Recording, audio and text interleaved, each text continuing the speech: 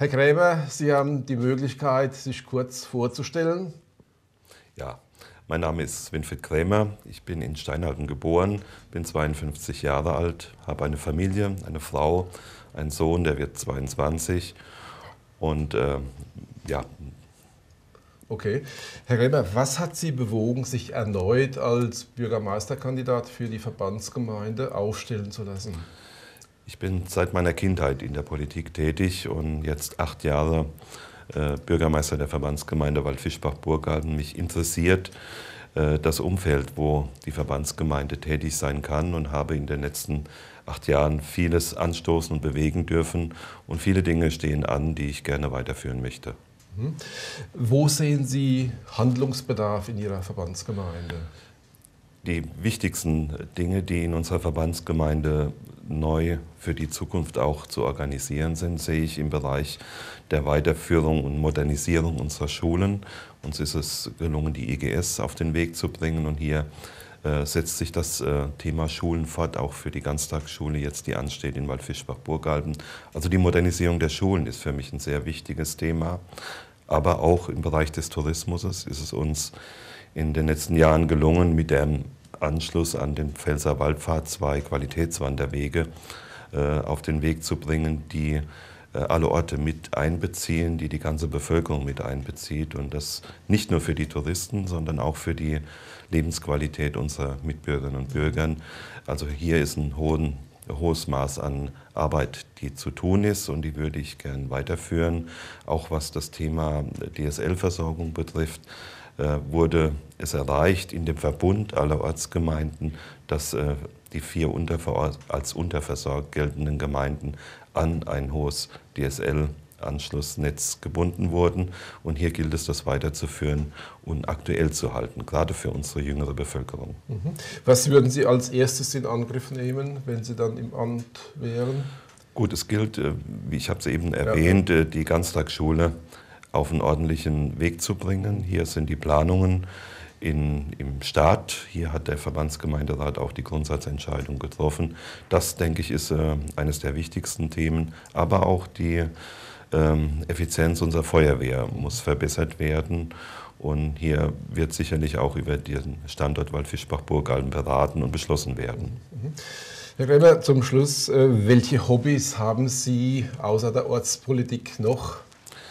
Ja, also mein äh, Hobby ist eigentlich die Blasmusik. Ich äh, mache seit meinem achten Lebensjahr Musik, mache das auch mit meiner Familie und äh, war über 22 Jahre deren Vorsitzender, bin Vorsitzender des Kreismusikverbandes Pirmasens Zweibrücken. Also die Musik ist mein Hobby und ich bin froh, dass ich dieses Hobby auch in den letzten Jahren trotz des Amtes ausüben dürfte und das möchte ich auch in Zukunft tun. Mhm. Vielen Dank, Herr Krämer. Gerne.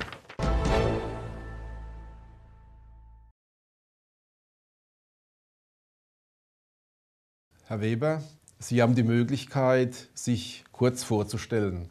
Ja, liebe Fernsehzuschauer, mein Name ist Lothar Weber, ich bin 57 Jahre, bin gebürtiger Kleinsteinhausener, wohne seit 1980 in Hörnöth, bin verheiratet, habe zwei erwachsene Kinder und habe auch 1990 in Hörnöth neu gebaut und bin seit 1994 in der Politik in Hörnöth tätig, angefangen in einem Bauausschuss, dann weiterhin im Gemeinderat und dann seit zehn Jahren Ortsbürgermeister der Ortsgemeinde Hörnet. Ja. Herr Weber, was hat Sie bewogen, sich als Bürgermeisterkandidat für die Verbandsgemeinde Waldfischbach-Burgalden zu bewerben? Ja, mein Hobby ursprünglich war mal die Politik. Ich hatte einen guten Lehrer in der äh, Berufsschule, der hat äh, uns geprägt in, diese, in der Politik. Mein Vater war auch politisch sehr stark engagiert. Danach kam die, äh, wollte ich in der, in der Ortsgemeinde mich engagieren nach meiner Weiterbildungsmaßnahmen, äh, die ich äh, Anfang der 90er Jahre abgeschlossen habe. Und dann kam die Frage, äh, machst du Ortsbürgermeister?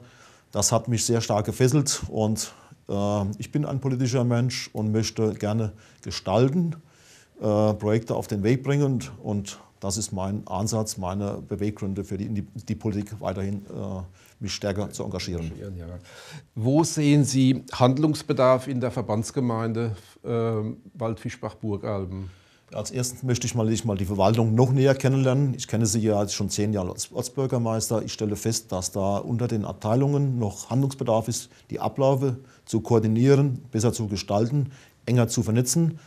Ich möchte die Energieprojekte äh, auf wirtschaftliche Basis stellen, möchte die erneuerbaren Energien vor allen Dingen nochmal äh, neu auf den Weg bringen und äh, mich stärker für die Gesamtregion einsetzen. Hier äh, ist ganz stark äh, Handlungsbedarf an unseren Straßen, an den öffentlichen Gebäuden, die auf den, auf den Weg zu bringen und äh, die finanzielle Situation der Verbandsgemeinde Waldvilsbach auch zu durchleuchten und hier auch entsprechende Maßnahmen zu ergreifen, damit man hier die Haushalte besser in den Griff bekommt. Mhm.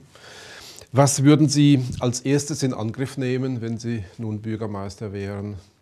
in der Verbandsgemeinde Waldfischbach. Also wichtige Projekte sind äh, die Grundschulen zu erhalten, die notwendigen Maßnahmen äh, in Bezug auf EDV, auf, neuen, äh, auf neue Medien auf den Weg zu bringen, die Energieprojekte, die ja in Höhe-Einöd, äh, Steinalpen und Hammersberg ja angefangen sind, momentan in der Kritik stehen, diese äh, Potenziale auszuloten und auch entsprechend mit den Fachleuten auf den Weg zu bringen, damit wir hier eine vernünftige Preisgestaltung hinbekommt und äh, auch die Tilgungen auf den Weg zu bringen und die Haushalte zu sanieren. Mhm. Wichtig ist auch ein Projekt ist auch das sanierungsbedürftige Feuerwehrhaus in Waldfischbach-Burgalben. Äh, hier eine Lösung zu finden, ob es saniert wird oder neu gebaut wird, das muss ich noch zeigen, was die, die Kostenschätzungen zeigen. Die Gemeinde Horbach braucht dringend DSL. Das ist die einzige Gemeinde, die noch sehr stark unterversorgt ist, dass auch diese Gemeinde sich entwickeln kann, nach vorne kommt. Mhm. Zum Schluss vielleicht noch eine äh, persönliche Frage. Sie haben gesagt, Politik ist nicht unbedingt Ihr Hobby, aber was haben Sie sonst noch an Hobbys, die Sie so äh, betreiben? Ja, nach, wenn, wenn die politische Arbeit getan ist, gehe ich gern wandern mit meiner Frau und bin auch gern im Garten zu Hause äh, an meinem äh, Haus. Äh, Rasenmähen, Gartenarbeit ist das Thema. Gut. Vielen Dank, Herr Weber. Dankeschön.